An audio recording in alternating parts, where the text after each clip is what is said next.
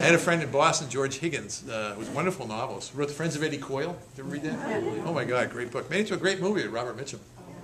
And George used to say, writing is a benign neurosis. And I've often thought, that's a very good explanation for my, I got to do it. I just feel I, I have the thing. I just love it. I loved, I liked, I love stories. Stories are holy and nutritious and necessary and critical and crucial and, and, the, and the food of our being. If we don't have stories, we got nothing. We got nothing. This is the cruelty of Alzheimer's, that it sucks all your stories out, leaving nothing but a shell, a healthy shell. What the hell to have no stories, you know? And, and I think about this all the time as Americans. So many of our political stories are just total whopping lies. You know, it's, it's like you be kidding. Everybody knows this is performance art. Can't we tell a real story? I mean, and that's why it's so attractive when somebody actually tells you a real thing. You know, like a real story. And, and speaking here as a, as a citizen and as an Irish American from New York, there are times, man, when I need stories in my pocket to get me through the day. You know, believe me, after September 11th, I was, I was helpless and enraged and, and furious. And the same thing happened in Boston. You know, the story that nailed me right off the bat. People ran the marathon. The bombs went off. They realized what happened, and they kept running to go to the hospital to give blood.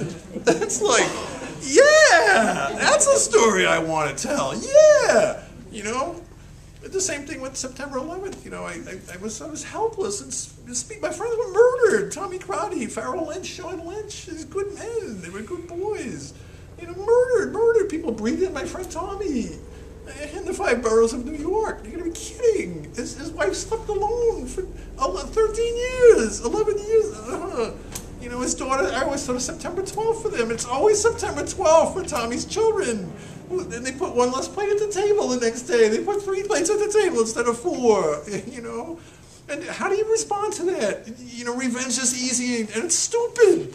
You know, it's stupid. My father says Bin Laden's among his other problems. He was a poor student of history. You know, to kill people, to convert them to your belief, it doesn't work. It's stupid. You know, as he says, we tried that, Brian. It's the Crusades. you know, so, so I was helpless until I realized it was my daughter, of course, who called me on it. Again, a kid called me on it.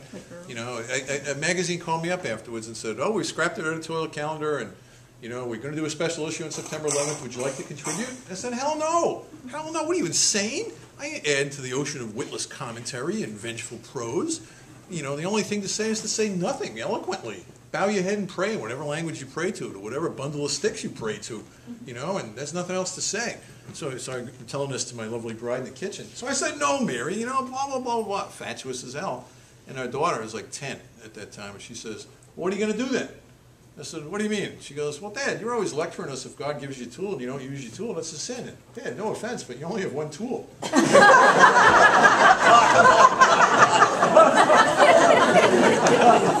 you say so yourself. You only have one. There's only one thing you're good at. It's catching and sharing stories. So, so if you're not going to catch and share any stories, well, isn't that a sin? I'm like, go to your room. And, but she was right. She was right. And so ever after, the stories of the couple that held hands and jumped from the South Tower, a man reached for a woman, and a woman reached for a man. At the lip of hell, two people reached for each other. Nobody knows who they were.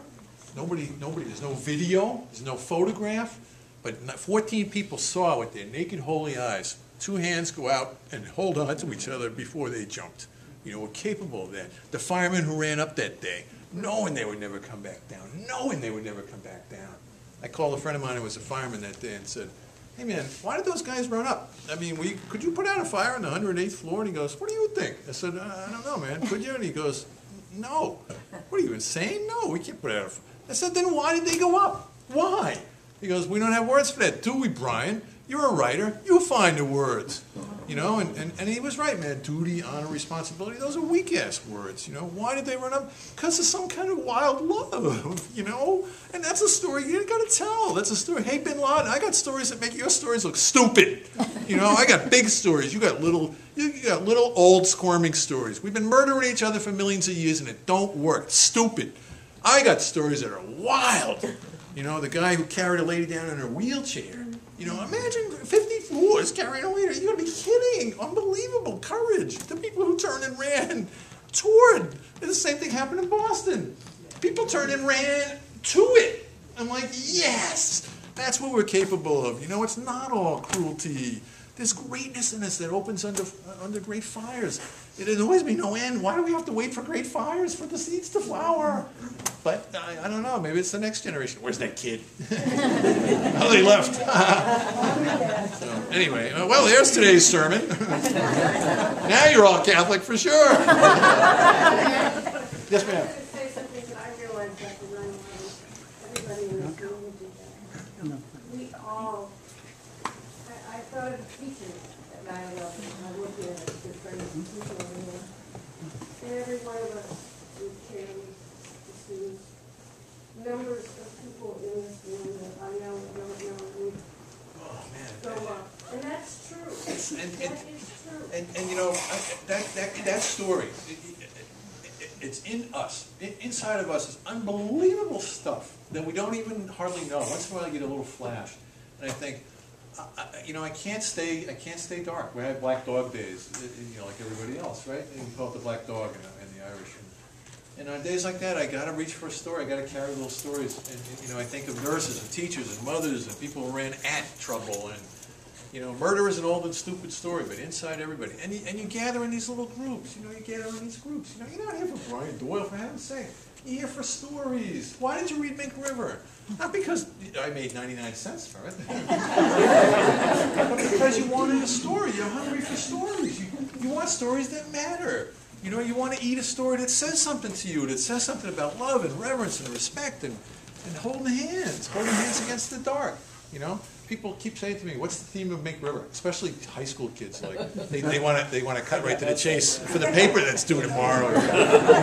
What's the theme? And, and often I'll, I'll pop out, you know, like, "Hey, grace under duress." That's the freaking theme, you know. Holding hands against the dark, you know, and stay in the boat. There's a great Gaelic word, misneach, which is mistranslated as fortitude, and and I think it means more something like stay with the boat. You know, hold hands and take a step forward. You know, stay with the boat. It's easy to quit. It's easy to run away. Stay with the boat. Hold hands. Here we go. Mm-hmm. You know, and to me, that's that's.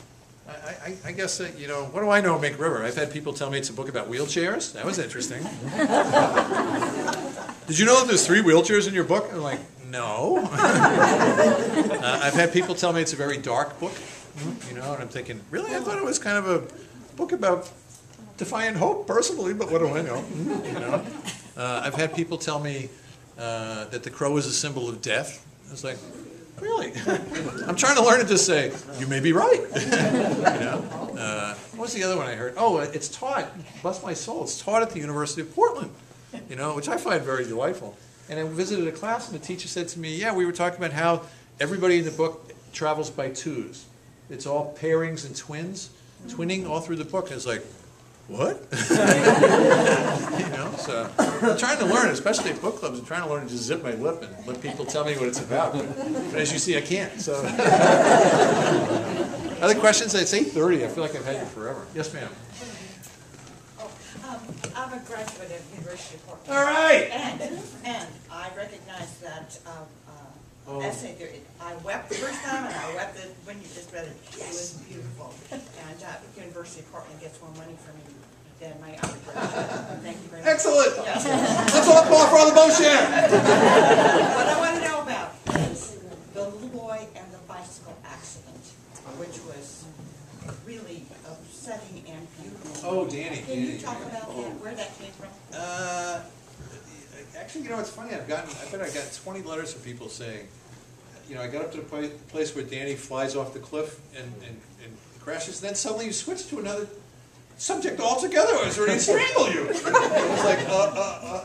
But I, one of the things I learned in the book was how to play with um, tension and, and uh, suspense, right? I had to learn that. I didn't know how to do that, and I realized, oh, if I just leave things hanging, then that's good, right? So then people will be like, oh my God, what happened? Because then you'll turn the page to find out what's going to happen. So, uh, but I can't remember how, I can't remember why I made him fly off the, I didn't kill him. Thank you. I did kill Red Hugh. O'Donnell, right, the old man, and I don't feel bad about it. I feel good about it. It's, it's, uh, I, I just completely, I feel like a total hypocrite. But hey, actually, one of the things I wanted, another thing I wanted you to notice, uh, it, it, it, there's three villains in the book. Red Hugh. O'Donnell, the mean old man. There's the guy with the brown coat, right, Christie's dad, and then there's the guy who beats his son, right. So one of the things I wanted to do that I didn't do well is I wanted to give the bad guys a little flash of light, and I wanted to give the good guys a little flash of darkness, right? So Worried Man was a totally good guy. At one point, Maplehead rips him a new head. You know, she's he, he's like, I'm going up the mountain. She's like, You're a selfish old bastard. You know, you just had a heart attack, and you're gonna leave everybody you love and everybody who loves you. You're a selfish old man. And she's right. You know, she's right.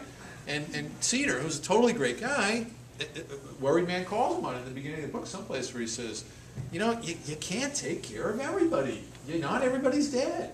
You, and Cedar has this like, I'm gonna, I'm gonna protect everybody. I'm gonna make it okay. He's got the he's got the paternal thing slightly too much, right? And, and so, uh, but what the guy who beats his son, there's one scene where he's trying to light a cigarette, right? He burns his lip, and because I wanted you to see, he's got a flash of good in him. He, he's like, well, I love that kid. What is the matter with me? I love that boy. Please help me. Stop. Help me. Help me. Oof, and he burns his lip. So I wanted to give you a flash of that, and and so, and, and so, but I had trouble killing people. You know, uh, you know. So it was, I had, it was easy to kill Red Hugh. That was fun.